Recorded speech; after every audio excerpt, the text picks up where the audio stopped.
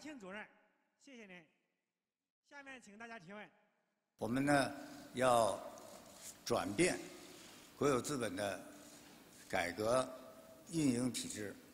那么这里边呢，主要是权力清单和责任清单这两个清单啊，我们要把它搞清楚，准确的划清我们监管的边界，那么使我们越位、错位和不到位的问题呢得到有效的解决，使得我们企业啊真正成为市场的主体，由企业在市场中去竞争。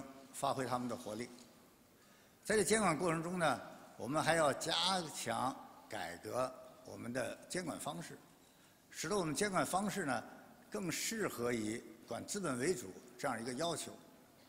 同时呢，我们在监管当中对违规、对失责，我们要加强责任追究，确保国有资产保值增值，一蹴而就，一天两天能解决问题的。可能有一个周期，“一带一路”为中央企业走出去提供了很多新的机遇。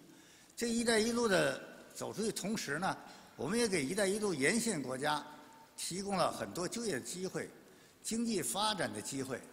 同时呢，也打开了我们的大门，欢迎这些企业呢到中国来，和中央企业合作，和国有企业合作，来进入中国的市场。“一带一路”。是汇集“一带一路”沿线国家，是汇集呃世界相关各国家的。谢谢肖主任。